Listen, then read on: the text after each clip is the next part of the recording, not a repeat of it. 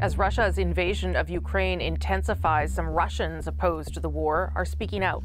One of them is Mikhail Kasyanov. He was once Putin's prime minister. Today, he's the leader of the People's Freedom Party of Russia, an opposition party founded in the final years of the Soviet Union. He's also a fierce critic of the Putin regime. Earlier, I spoke to Kasyanov about the war's impact on Russia and how Vladimir Putin has changed since they worked together. Mr. Kasyanov, thank you for joining us. All right. Hello. I, I want to start with a couple of uh, bits that have been in the news this week, if I can. Uh, Russia cutting off gas supplies to Poland and Bulgaria uh, because they refuse to pay in Russian rubles. What what what what do you think that tells us about the way Putin is using oil and gas as leverage in this conflict? Yes, he is angry. That's absolutely. He is in shock that such a uh, many strong packages of sanctions were imposed, and he didn't expect that. And he wants, of course, somehow to press or press hardly on European European consumers, and that's why he understands that inevitable reduction of uh, the purchase of natural gas from Putin's Russia, and he wants to predict this and trying trying to overcome the sanctions. Because just paying in rubles it means just to buy to buy rubles by using dollars or euros. But uh, international reserves are frozen, and Mr. Putin wants to pay he, its debt, uh, Russia's debt, by by rubles. But yesterday or today, finally, Russian Federation paid its coupon on euro bonds, which uh, was due months ago. A technical period finished, and Russia finally paid in hard currency, not in rubles. That's what Mr. Putin wants to undertake some efforts with the, with the uh, European gas consumers, right. but he failed to does that indicate to you that the sanctions are having an impact, even though it, it may be taking a long time?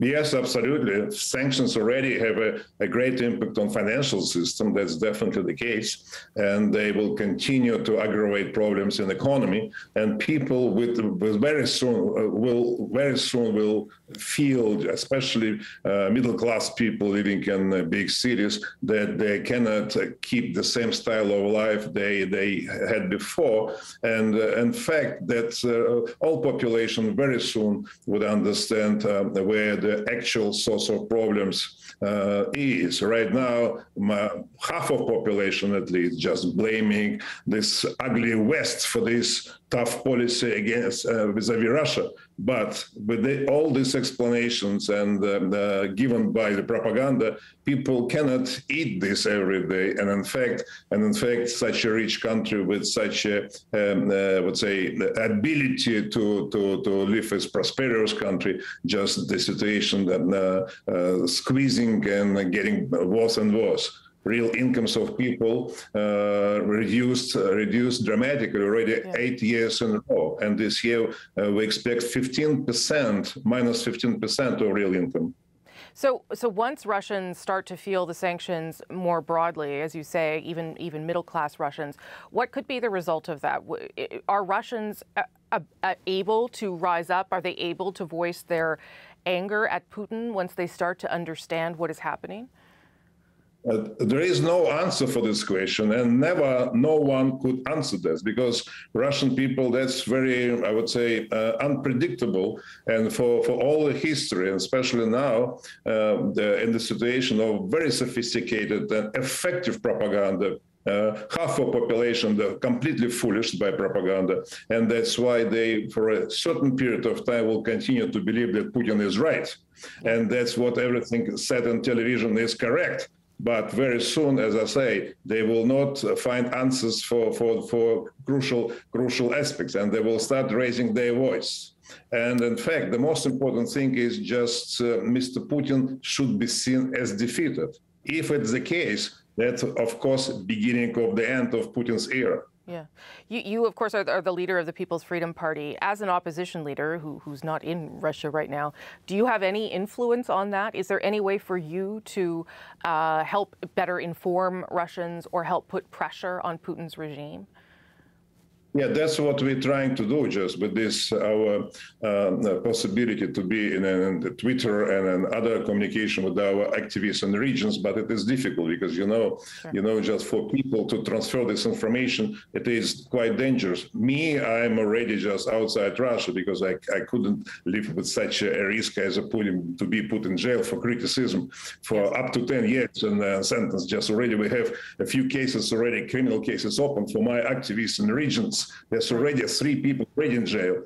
But but um, our activists trying to explain people in a, in, a, in a, uh, meetings with them just what is going on and uh, who is right and uh, who is a criminal.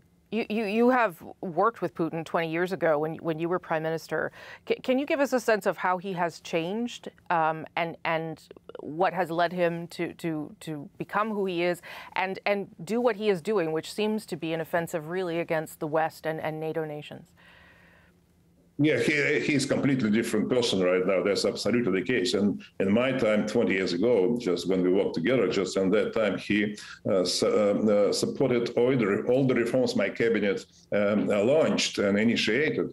But today, today, these days, uh, last 10, 10 years at least, this is absolutely difficult, absolutely different person. And he is now just a real KGB agent. He hmm. not he, he doesn't pretend pretend anymore to be a democratically devoted person. He's real KGB agent, and uh, he works this way. His um, uh, worldview is uh, distorted, distorted worldview, just as completely, completely different person. He cannot rule the country in 21st century.